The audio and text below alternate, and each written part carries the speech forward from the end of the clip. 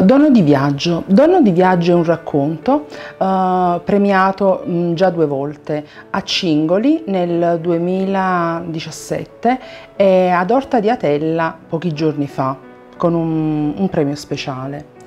Dono di viaggio. Anna era irrequieta sul sedile e si affacciò al parapetto del battello che la portava verso le sue origini. In lontananza si intravedeva l'isola. Lentamente aprì la borsa tirò fuori una vecchia foto a colori, sbiadita dal tempo. Ritraeva una giovane donna abbracciata al suo innamorato e sullo sfondo i faraglioni.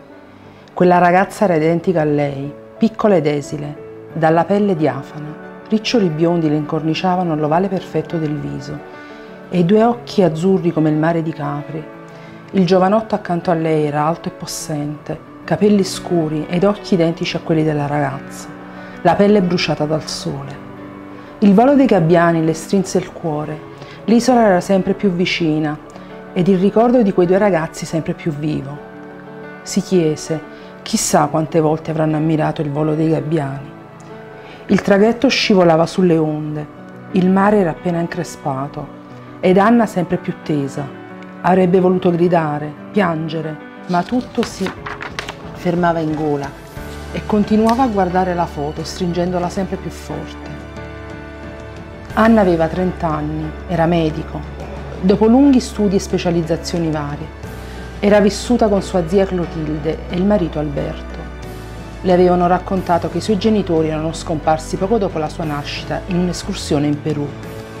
Rebecca, sua madre, era la sorella minore di Clotilde e suo padre un archeologo.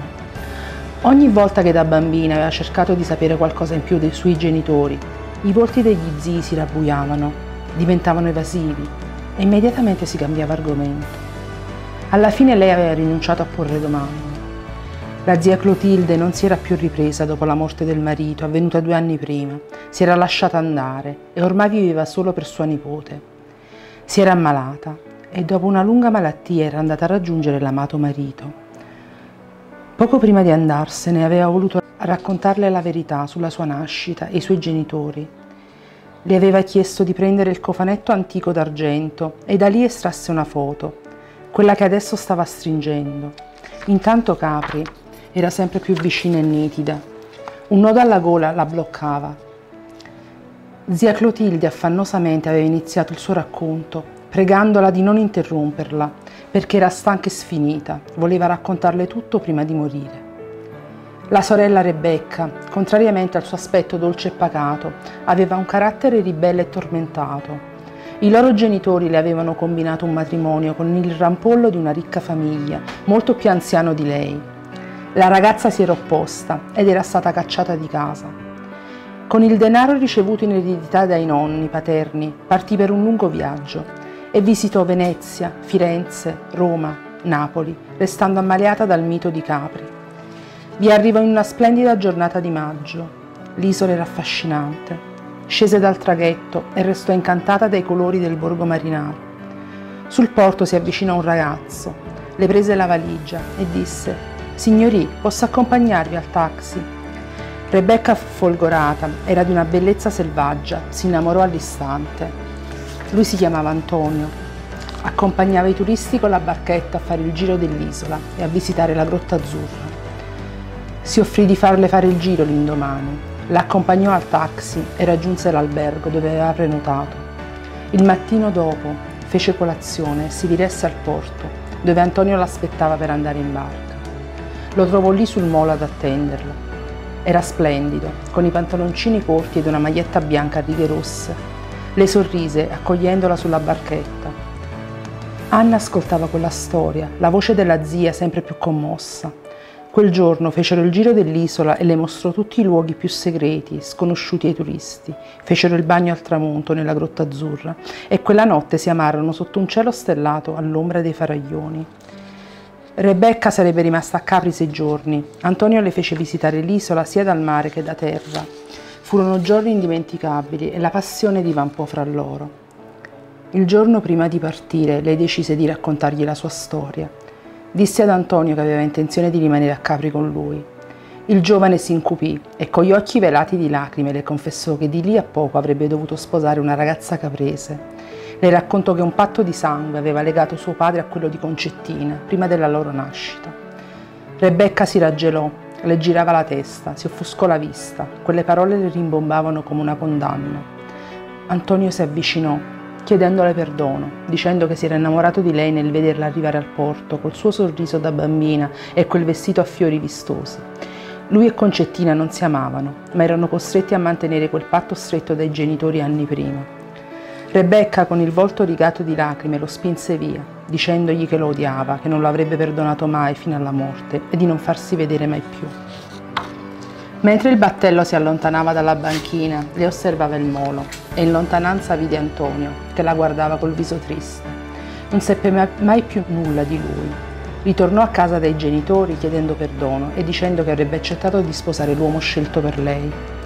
La famiglia fu felicissima di quella decisione e in tutta fretta organizzarono il matrimonio. Pochi giorni dopo Rebecca ebbe un malore e quello che lei sentiva nel cuore ebbe conferma. Portava dentro di sé il figlio di Antonio, il suo grande amore. Confessò tutto a Clotilde, che si fece carico del segreto.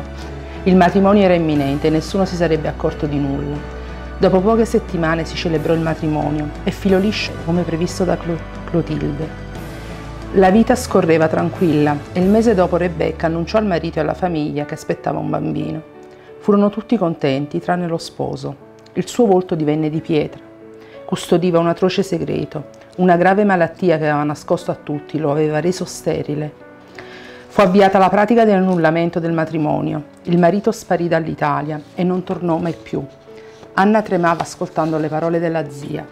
Finalmente le stava raccontando la verità. Rebecca rimase rinchiusa nella villa di famiglia fino alla nascita della sua splendida bambina. Clotilde e i suoi genitori le furono accanto, ma lei si spegneva ogni giorno di più. Pensava ad Antonio e non riusciva a dimenticarlo, nemmeno la faccina tonda e paffuta di sua figlia che le sorrideva riusciva a rasserenarla. Iniziò a rinchiudersi in un silenzio oscuro, nella sua stanza. Non voleva vedere sua figlia ed i suoi familiari erano disperati. Giorno dopo giorno si spense, una fiammella senza più luce. Anna era piccolissima, i nonni e gli zii decisero di raccontare un'altra verità quando avrebbe iniziato a fare domande sui genitori. Fu la versione che Anna ebbe fino a quel giorno, anche se dentro di sé aveva sempre avvertito qualcosa di oscuro ed ambiguo nei loro racconti. La fronte di Anna si era imperlata di sudore, ascoltando la zia, quelle parole le rimbombavano nella testa. Era rimasta di sale. Guardava la foto dei genitori, quella bella ragazza che le somigliava tanto e quell'aitante ragazzo Bruno, suo padre, che mai aveva saputo della sua esistenza. Chissà se era ancora vivo, se si era davvero sposato con Concettina ed avevano avuto dei figli. Chissà se i suoi capelli erano ancora così scuri o imbiancati dal tempo. Poche ore dopo la zia lasciò serenamente la vita, stringendo la mano di Anna. Erano passate alcune settimane e mille domande affollavano la mente di Anna. Aveva deciso, doveva tornare lì, dove sua madre era stata felice e lei concepita. Voleva conoscere suo padre, sperando fosse ancora in vita. Il traghetto intanto si avvicinava al molo ed Anna cercava tra le persone sulla banchina un volto, il volto di suo padre. Non ne conosceva nemmeno il cognome. Il traghetto si era fermato. Anna era arrivata a Capri. Scese respirando un'aria nuova, voleva solo abbracciare Antonio e raccontargli chi fosse. Davanti ai suoi occhi si stagliarono i colori variopinti che tanti anni prima avevano incantato sua madre. Un brivido scosse il suo corpo. Finalmente era arrivata a casa.